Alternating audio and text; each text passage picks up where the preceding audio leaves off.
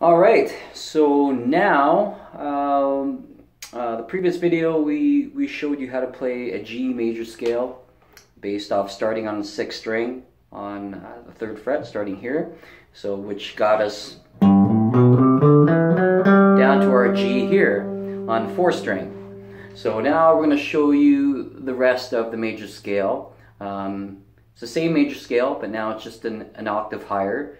So we're starting, our starting point is going to be on the fourth string on the fifth fret. So we start there, and here uh, is the G major scale based off our starting, starting point on the fourth string. So starting here.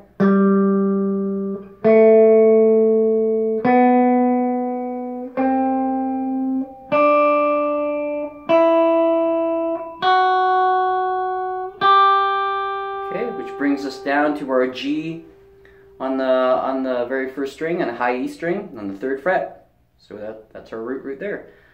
So now to play the whole major scale, um, incorporating all six strings, I'll show you how it goes.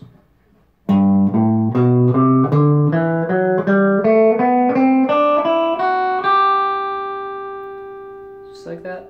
And if you want to come back up,